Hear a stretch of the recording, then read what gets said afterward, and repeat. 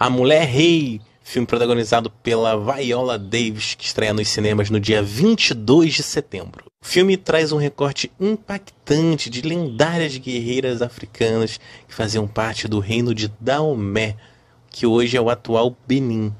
Assim a gente vai sendo apresentado algumas personagens, né? Uma delas é a Nanisca, interpretada pela Viola Davis, uma general super temida, corajosa, que tem alguns traumas no seu passado. E uma parte desses traumas do seu passado vai acabar voltando para o seu presente. Em paralelo, vamos conhecendo também a Naui, uma jovem destemida que foi abandonada pelo seu pai adotivo.